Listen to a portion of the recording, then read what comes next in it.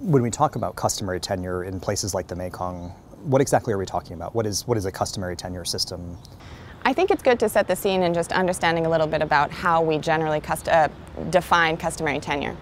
So customary tenure can be defined as a set of rules and norms that governs how communities allocate, manage, utilize, and benefit from their land and natural resources. In the Mekong, those communities that practice customary tenure are fisher folk, they're people who are dependent on the forest, they're people who are dependent on agriculture. Most often in the region, customary tenure can be explained as using or utilizing traditional rotational agroforestry systems or something that we like to call shifting cultivation or swidden agriculture. But there are many different forms of customary tenure. It's important when we're talking about customary tenure, particularly in the Mekong region, to look at it as something that's diverse and fluid and complex. Again, we're looking at customary tenure systems as a landscape here in the Mekong because it's very much a landscape, which includes forest areas, it includes agricultural areas, it includes grazing areas, water areas, but it also includes spiritual areas and sacred sites for communities. What does it mean to talk about customary tenure recognition, or why is that important in a, in a place like the Mekong region? While community tenure is normally recognized or endorsed by communities, often it's not formally recognized by official government or legal entities. So that's, that often means that communities are left very vulnerable to risks like increased investment. So it's important to recognize customary tenure, and especially customary forest tenure, because um, you are providing security to those communities that they are able to uh, benefit from their land, safely live and produce on their land, but also contribute to the economy. In, in the countries that we're working with in the Mekong region, the enabling frameworks to potentially recognize forest rights or, and customary rights are there. The issue is those pathways to implement these legal policies or legislations might not be very clear yet or might not be developed. So it's really important to have these conversations and open up a dialogue about what does recognition mean, what does formalization of those tenure rights mean, and how those would be administered, one for the benefit of the state, but also for the benefit of the communities. So we've talked about customary tenure, what it is, customary tenure systems and such, the importance of recognizing that customary tenure um, in the Mekong region.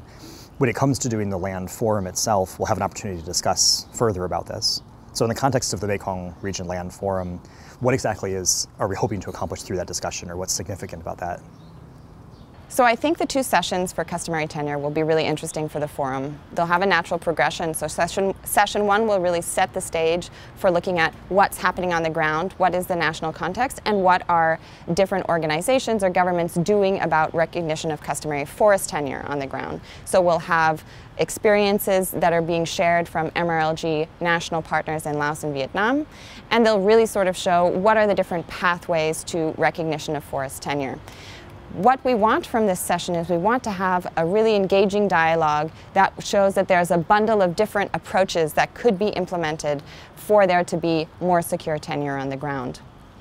In session two, we'll go up to the regional level. So we'll bring what we've learned and what we've discussed in session one and bring it up to looking at these regional platforms, regional platforms like ASEAN, but also other regional initiatives that are looking at securing tenure and try and see how to leverage these regional platforms to roll out and influence national recognition.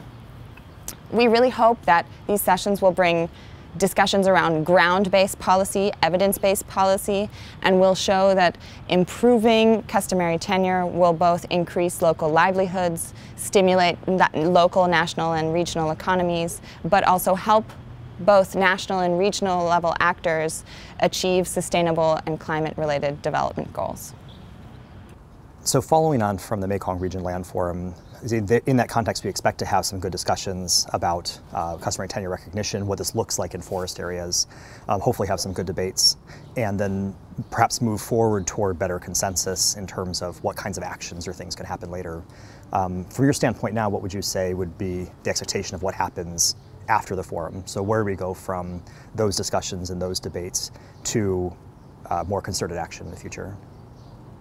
So I think the first step when talking about customary tenure, because as I said earlier, it's, it's a landscape, it's a flexible concept. It's something that's constantly adapting and changing. The first step to understanding and doing something about customary tenure is having these dialogues. So having the dialogue in and of itself is a great first step and having more dialogue post this forum would help increase awareness about the different issues that communities face on the ground who are practicing customary tenure, but also the different issues that maybe administration might face um, in terms of how to administer or recognize, formally recognize these rights.